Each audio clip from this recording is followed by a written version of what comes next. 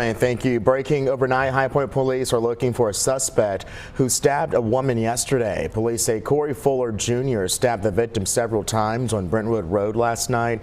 Another woman was also found with cuts to her hands. Officials say the stabbing resulted from an argument between one of the women and Fuller.